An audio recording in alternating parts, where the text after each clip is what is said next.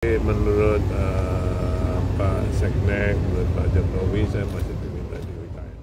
Basuki Hadi Muljono atau yang akrab dipanggil Pak Bas tak menjadi menteri di kabinet pemerintahan Prabowo Subianto, Gibran Raka Buming Raka. Namun, ia mengisyaratkan akan menjadi kepala otorita ibu kota Nusantara definitif. Hal ini diungkapkan Pak Bas di Jakarta Selatan, Senin, tanggal 21 Oktober tahun 2024, malam. Seperti diketahui, jabatan ini sebelumnya dipegang oleh Bambang Susantono.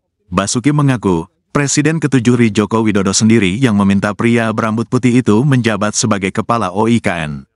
Kalau ini saya bukan mendahului, tapi menurut Pak Setnek, Pak Jokowi, saya masih diminta di OIKN, kata Basuki ketika ditemui sebelum acara sertijab Kementerian PUPR di Jakarta Selatan, Senin, tanggal 21 Oktober tahun 2024, malam.